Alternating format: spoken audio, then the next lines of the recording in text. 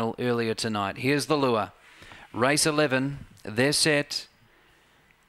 Racing now, flying out exonerated with Unique Leo. Third early Iridium Flare. Fourth and wide Winsome Jackie from Judah Lomar and then Fast Dancer and Black Herc. Front runner exonerated. Here's Iridium Flare flashing out after it. Unique Leo's on the fence and then Judah Lomar exonerated in front of Iridium Flare. Unique Leo not doing enough. Judah Lomar's flying but exonerated.